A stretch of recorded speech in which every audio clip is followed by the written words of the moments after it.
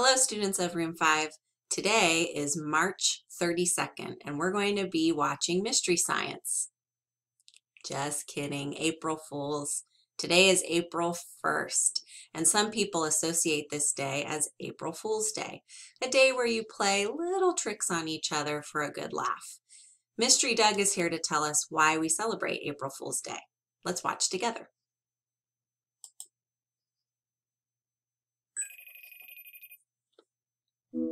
Hi, it's Doug. Today we have a question about April Fool's Day from someone named Mira. Let's give her a call now. Hi, Doug. Hi, Mira. I have a question for you. Why do we celebrate April Fool's Day? That's a great question. April Fool's Day is always a day of the year you have to be a little careful. You never know. You might walk into a room and find out it's been filled with balloons. Or maybe you find your classroom has been covered in newspaper. April Fool's Day might be one of the strangest holidays there is. A holiday where people play pranks on each other. Little things that might annoy someone or make them laugh, or sometimes just confuse people. Here's one of my favorite pranks. This teacher played a prank on his students by giving them the hardest spelling quiz ever. All right, going through the list with the spelling. You're checking your own list. Here we go. The first word was Blorski. I lost my Blorski at a carnival. B L O R S K E E. The next word is Spiku. Look, there's a Spiku. S P E E K U Z S L M N. There's silent letters at the end of that one. But then he told them the truth. This is an April Fool's joke! Close enough. April Fools! No one knows exactly why or when April Fool's Day started, but it's been going on a while. Every year for a long time now, newspapers tend to print at least one fake story or picture. Most people have fun trying to spot the one story or photo that's fake. But always, every April Fool's Day, there's someone who forgets what day of the year it is, and they wind up getting tricked. Like maybe someone offers you a cookie, only for you to find out it's been filled with toothpaste. Yuck. Have you ever had someone play an April Fool's prank on you? Now'd be a good time to pause the video and discuss. Okay, so I'll give you a moment to think about it. Have you ever had someone play an April Fool's prank on you, or did you play a prank on someone else? Hmm, I'm thinking. I don't know if I've ever had one happen to me.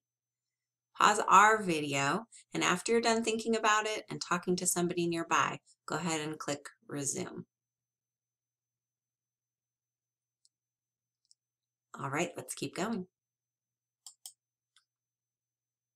Since lots of April Fool's pranks are about confusing or annoying people, not everyone loves getting pranks played on them. Like, imagine you found your car covered in post-it notes. You might find the prank funny, but other people might be upset. It could really depend on how far the prank goes.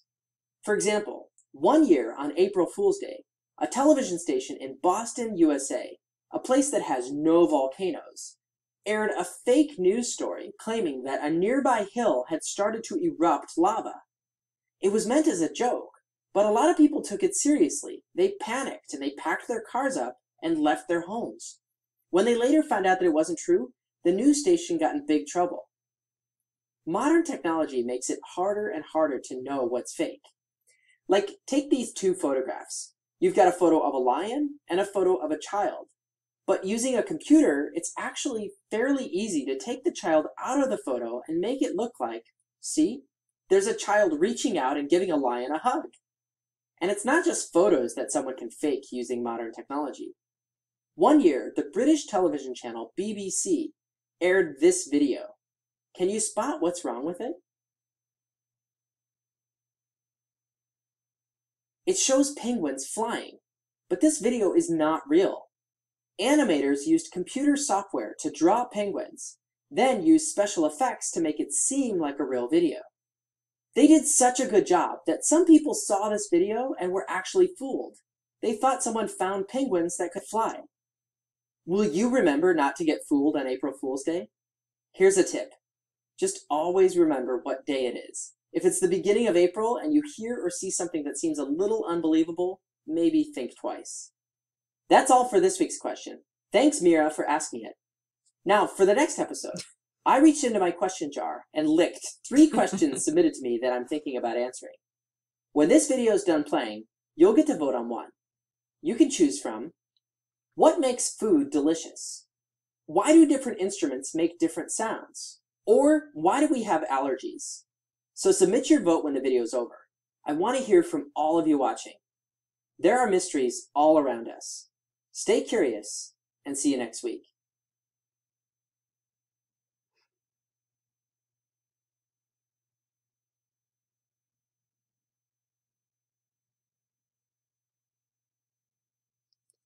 All right. So one thing I want to say before I give you your challenge of the day is if you decide to prank someone at home or in your family, make sure to be kind about it. Remember, sometimes pranks can be annoying or frustrating, and we wouldn't want to do that to our family members. Think about if they will think it's funny. Think about if they're in on the joke. And for you personally, remember, today is April 1st. So if you see or hear something strange, it could be that somebody's playing an April Fool's joke on you. Now, there are three questions to vote on, and this is going to be our challenge of the day. So in Google Classroom, you are going to select which of these choices you would like to see as the next video. It's possible that Mystery Science is still on their hiatus, still on their break, so it may be a while before we hear the answers. But again, your choices are what makes food delicious, why do different instruments make different sounds, and why do we have allergies? So in our Google Classroom, let me know which of these choices you would like, and I will submit the top vote to Doug at the end of the week. Stay safe, Room 5, and I hope you have a great day. Talk to you later. Bye.